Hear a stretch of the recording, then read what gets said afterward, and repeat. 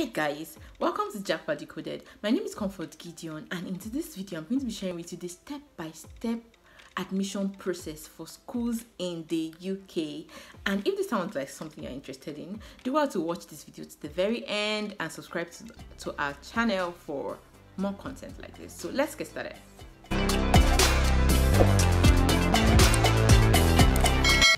So before we dive into um, the process of admission of the schools in UK, right? The first things I need to pay attention to is the documents you will need to even apply for admissions into these institutions. So I'm going to be sharing with you, I'm going to be mentioning some of the documents right now for you to get them handy before you even set out to apply to these schools, right? So the very first document you will need for um, your admission process or application process is your passport your passport. You know, um, that passport that some people call international passport, right? If you're a Nigerian, it's be that passport that you get from immigrations that has the green cover. Yeah, a lot of people call it international passport, but it's called passport. Yeah, it's the document that shows your identity as a citizen of a particular nation. So that's the very first thing you need to apply. The second thing you need is um a result that shows that you studied in English, and in most cases, this is your WAEC result if you are a Nigerian or if you are from Africa. A WAEC result is accepted in the UK, and some schools will require you to write some English exams like TOEFL, like IELTS, and all of that. But usually, on a general note, WAEC result is usually accepted. The next thing you will need is your degree certificate, and if you studied in, let's say, um, Polytechnic, your HND, some schools accept HND, but usually your degree certificate, BSc, BTech, and all of that, you need to get that handy. The next document you need is your transcript. Your transcript is like a statement of your results that shows the courses you offered in the university and the grades you had in each of those courses. Yeah, usually need your transcript handy. And um, if you've not gotten it already and you are planning or thinking of applying to study in the UK, you should start making arrangement already on how to get your transcript. Some schools will usually mail them to you, while others will send them to the schools where you're applying to. So you need to make arrangement for that as soon as possible. The next document you will need is um, a statement of purpose or um, your personal statement. Some people call it SOP. Yeah, your statement of purpose. This is a document, a written document from you that shows, okay, this is the course I want to study, why you want to study this particular course, and then why are you planning to study this course in this particular institution? Like why did you choose to study this course in our school instead of all the other courses in the uk you need to like give your reasons. This is what is called the personal state. The next document you will need is your cv yeah your written cv that shows some details about you and all of that your um, qualifications your experiences and things you've been doing. They want to see that so they need your cv also for your application then the next document you will need to apply to study in the uk is um, reference letters. Yeah usually they're basically two reference letters that are required. One is your um, academic reference which is like a reference that you get from your school. It can be from a lecturer in your school or your hod your um, faculty. Yeah you just need to get a letter from your school. Someone from your school that can attest the fact that you really you truly studied in this school and why you were studying you were of good behavior and all of that and then the second reference would be your work reference if you if, you said you've been working or you've worked in a particular organization, you need to get a reference from that organization of someone attesting that you actually worked in this organization within a total period of time and then you were of good behavior during the period of your stay or of your work in the organization. Yeah, so those are the documents you need to apply to study in the UK. Now let's dive into the main process of application into schools in the UK. The very first thing you need to do, right, if you are deciding or planning to study in the UK or planning to apply to study in the UK is to decide on the course you would want to study. There are some people that want to um, do like an advanced program of what they did in their undergraduate, right?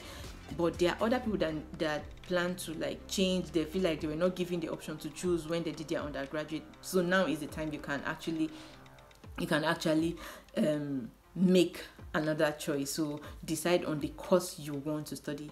Then after you've decided on the course to study the very next thing you need to do is to go on the internet and browse for schools in the uk that offer that particular course that you've decided you want to study. There are several of them. You see several of them. So research check their website go to the school website and research what are the course requirements in the various schools what do they require how much is their tuition and all of that before you finally make your choice.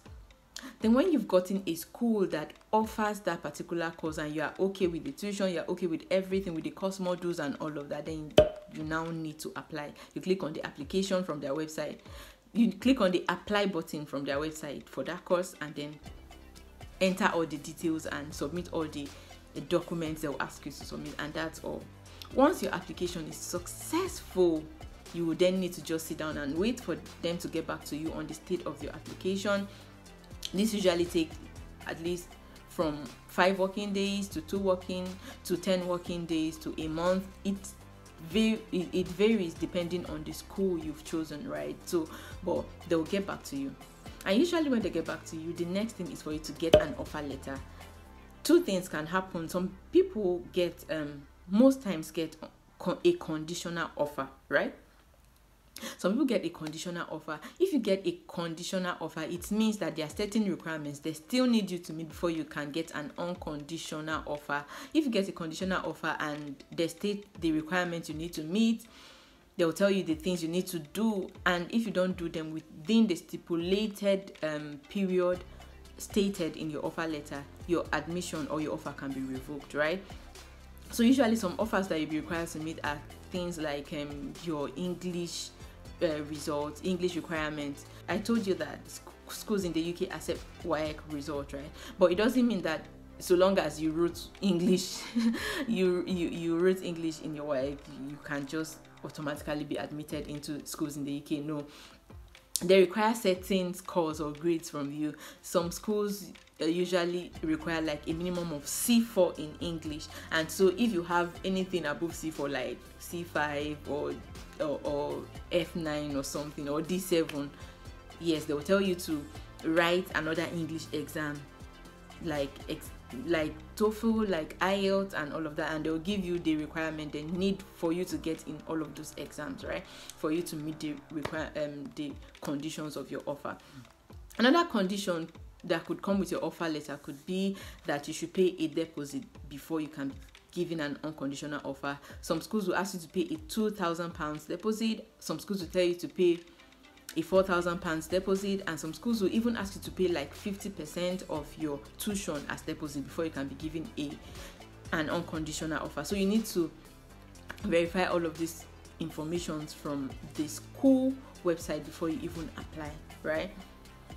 Then another condition that can come with the um, with your offer letter is to is to submit a proof of funds document. The proof of funds document is usually like is usually a living expenses that the UKVI require you to have for the period of your stay in the UK. They're required to have all the amount of money that you need to take care of yourself for a period of um of your study in the UK.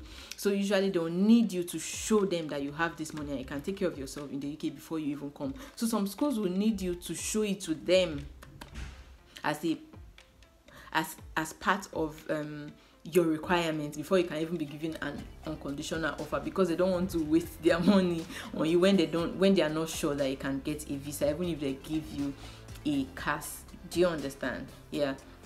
So I usually need to leave these funds in your bank account for at least 28 days before you can print out the statement and present it to your school and also the UKVI. So some schools usually require you to do this before they can confirm that they they are giving you an unconditional offer. So once you've met all the requirements of your offer you'll be given an unconditional offer.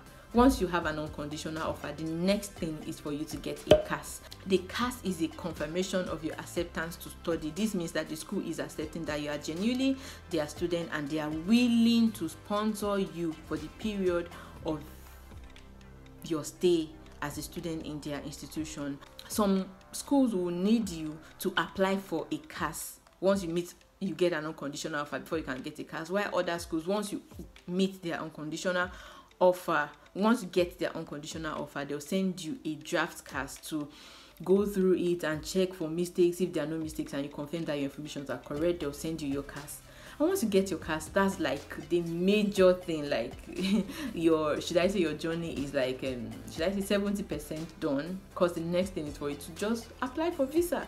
Because as a student that's the major thing. Should i say that's the aside the money that's like the major thing you need to apply for visa. When you get your CAS then you can now apply for your visa. So there you have it.